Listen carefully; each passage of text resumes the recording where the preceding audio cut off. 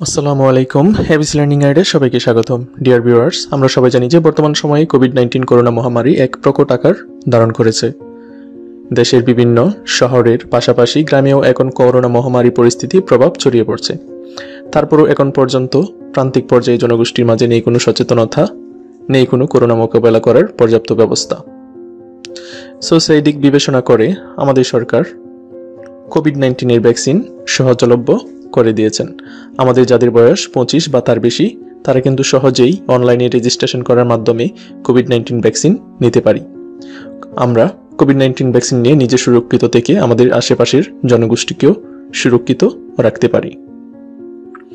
তাহলে চলুন জেনে নিই আমাদের যাদের বয়স পঁচিশ বা তার বেশি হয়েছে, তারা কীভাবে রেজিস্ট্রেশন করে কোভিড নাইন্টিন ভ্যাকসিন নিতে পারি সেই বিষয়ে।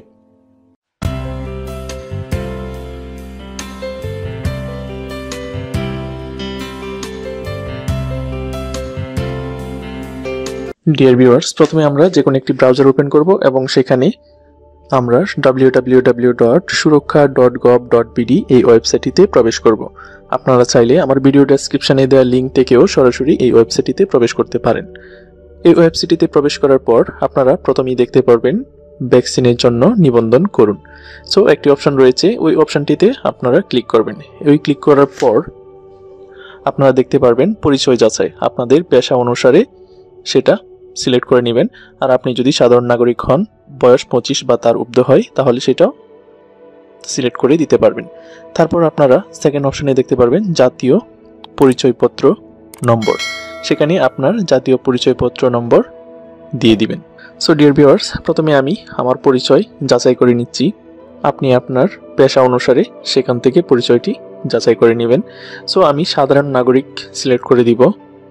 যেহেতু আমি সাধারণ নাগরিক হিসেবে ভ্যাকসিন পেতে চাচ্ছি সো আমি সাধারণ নাগরিক যে সর্বপ্রথম যে অপশনটি রয়েছে, সেটি সিলেক্ট করে দিলাম। তারপর আমরা চলে যাচ্ছি সেকেন্ড অপশান জাতীয় পরিচয়পত্র নম্বর। এখানে আপনার জাতীয় পরিচয়পত্র নম্বরটি লিখে দিবেন। লিখে দেওয়ার পর আপনারা চলে যাবেন পরবর্তী অপশানে এবং জন্ম তারিখ, জাতীয় পরিচয়পত্র অনুযায়ী। আপনি আপনার জন্ম তারিখটি জাতীয় পরিচয়পত্র অনুযায়ী সিলেক্ট করে দিবেন। সো ডিয়ার ভিউয়ার্স আমি আমার জন্ম তারিখটি সিলেক্ট করে দিলাম আমার জাতীয় পরিচয়পত্র অনুসারে। তারপর আমরা নিচে দেখতে পাচ্ছি একটি ক্যাপচা। সো ক্যাপচাটি আপনারা সঠিকভাবে পূরণ করবেন। সো আমি ক্যাপচাটি পূরণ করলাম। ক্যাপচাটি পূরণ করা হয়ে গেলে আপনারা যাচাই করণে ক্লিক করবেন। যাচাই করণে ক্লিক করার পর আমরা দেখতে পাচ্ছি নতুন একটি পেজ ওপেন হয়েছে। এখানে দেওয়া আছে নিবন্ধনকারীর তথ্য। সো অটোমেটিক সেখানে আমাদের নাম চলে আসছে এবং মোবাইল নাম্বার দেওয়ার একটি অপশান চলে আসছে।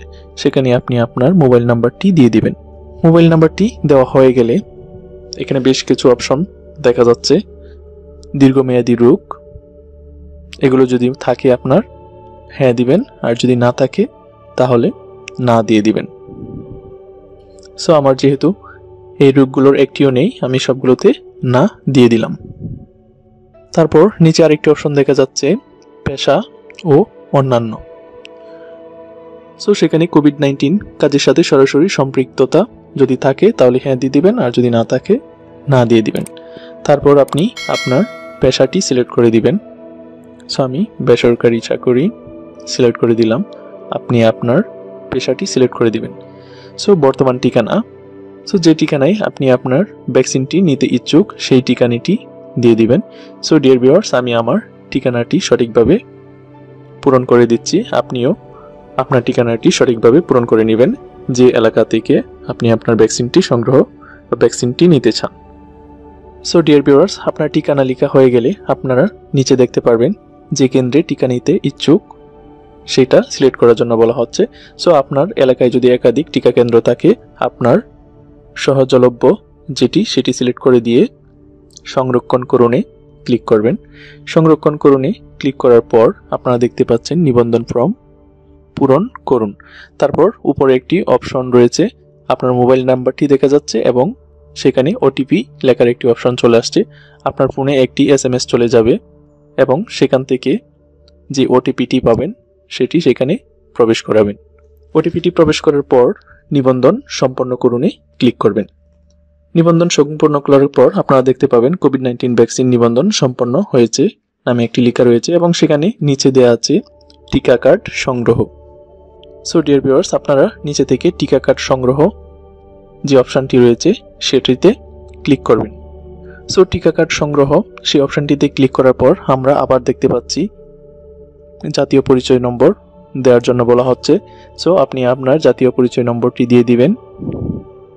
জাতীয় পরিচয়পত্র নম্বরটি দেওয়া হয়ে গেলে আপনি আপনার জন্ম তারিখটি আবার দিয়ে দিবেন সেখানে। জন্ম তারিখটি দেওয়ার পর আপনারা নিচে দেখতে পাচ্ছেন আরও একটি ক্যাপচা রয়েছে। সেই ক্যাপচাটি সঠিকভাবে পূরণ করবেন। ক্যাপচাটি পূরণ করার পর নিচে যাচাইকরণে ক্লিক করবেন। সো যাচাইকরণে ক্লিক করার পর আবার মোবাইল ভেরিফিকেশন চাচ্ছে। তার মানে আপনার ফোন নাম্বারে আপনি যে ফোন নাম্বারটি দিয়েছেন সেটিতে আবার একটি ওটিপি পাঠানো হয়েছে। সেই ওটিপিটি আবার এখানে প্রবেশ করাবেন। ওটিপিটি প্রবেশ করানোর পর আপনারা ভ্যাকসিন কার্ড ভ্যাকসিন কার্ড সংগ্রহ করুন নামে যে অপশানটি রয়েছে সেটিতে ক্লিক করবেন। সেটি ক্লিক করার পর আপনারা দেখতে পারবেন যে নিচে আপনার টিকা কার্ডটি দেওয়া হয়েছে। সেখান থেকে আপনার টিকা কার্ডটি ডাউনলোড করে নেবেন এবং ডাউনলোড করে সেটি প্রিন্ট করে নেবেন। সো ডিয়ার ভিউয়ার্স এভাবে আপনি আপনার ভ্যাকসিন কার্ডটি সংগ্রহ করবেন এবং পরবর্তীতে আপনার মোবাইল এস এর মাধ্যমে যে টাইম দেওয়া হবে সেই টাইমে গিয়ে কোভিড নাইন্টিনের ভ্যাকসিনটি নিতে পারবেন। ডিয়ার ভিউয়ার্স এই ছিল আমাদের আজকের আয়োজন। আমাদের ভিডিওটি যদি ভালো লেগে থাকে, অবশ্যই লাইক কমেন্ট এবং শেয়ার করবেন। আর আমাদের চ্যানেলটিতে নতুন হয়ে থাকলে প্লিজ আমাদের চ্যানেলটি সাবস্ক্রাইব করে পাশে থাকবেন এবং পাশে থাকা বেল আইকনটি বাজিয়ে দেবেন সবার আগে আমাদের ভিডিও নোটিফিকেশন পেতে। আর যারা অলরেডি সাবস্ক্রাইব করেছেন তাদেরকে অসংখ্য ধন্যবাদ। আজকে এই পর্যন্তই। সালামু আলাইকুম।